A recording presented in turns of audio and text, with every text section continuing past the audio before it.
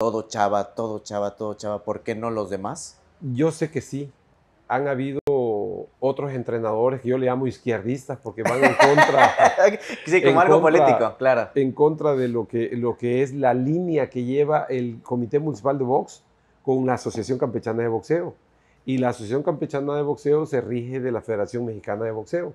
Entonces, cuando se aplica ese, ese reglamento, empieza a producir ciertas incomodidades porque rápidamente piensa, ah, no, es que porque Chava es el presidente del Comité Municipal de Box, es entrenador, él quiere que las cosas que sean, sean así, y no es así. Entonces, los entrenadores que sí son conscientes y que se han apegado a lo que es, son los reglamentos de la Federación Mexicana y de la Asociación Campechana y del Comité Municipal de Boxeo, me ha costado trabajo, pero hemos podido asimilar que hayan entrenadores que que entiendan que no soy yo. Pero la realidad es que sí te voltean a ver a ti, pero porque eres el presidente. Sí. ¿no? O sea, porque estás a cargo, no es porque seas tú.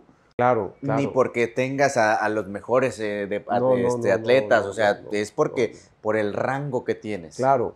Independientemente de eso, a ser entrenador, tengo atletas que en algunas divisiones son los mejores, pero también en el gimnasio de de Calderón, donde está Tyson, Tyson tiene boxeadores que en su división son los mejores.